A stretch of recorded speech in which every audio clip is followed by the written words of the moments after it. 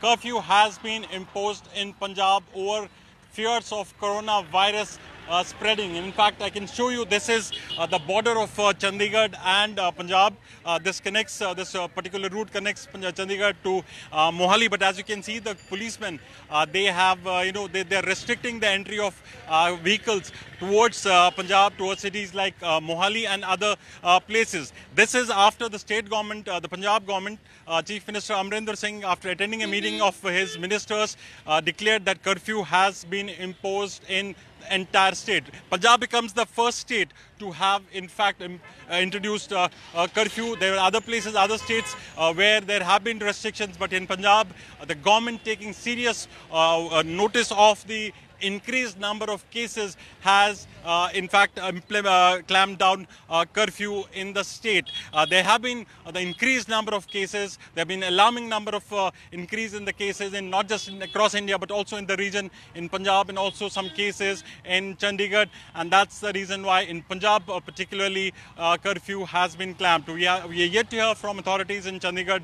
UT administration whether similar restrictions will be imposed in Chandigarh. But what happened in, the, in Punjab today, various parts being Mohali, uh, Kharar, Ludhiana and other parts of Punjab, uh, people in some areas try to come out uh, to uh, make purchases of grocery and other essential commodities and that's where the administration felt uh, that, you know, with large number of people coming out, it would really pose severe medical threat.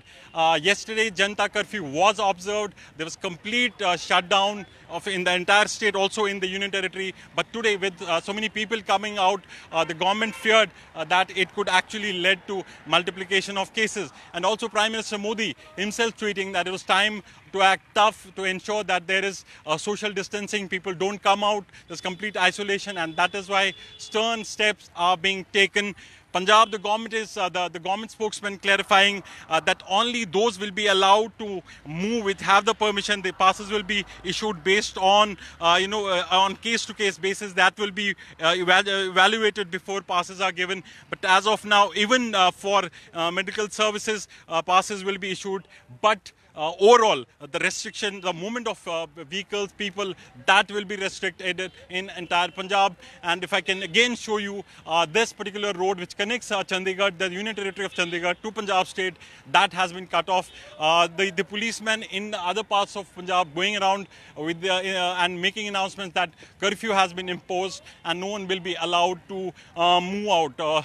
so you can see clearly a, a, a very alarming level of, of cases uh, that have been uh, multiplying and that is why restrictions have been imposed. Uh, we'll keep on providing you updates on the curfew situation, also on the number of cases that have been reported in the region, be it Punjab, Himachal or Chandigarh. We'll pro provide you updates. You can also log on to our website www.tribuneindia.com and also our other social media platforms like uh, Facebook and Twitter. Thanks for watching.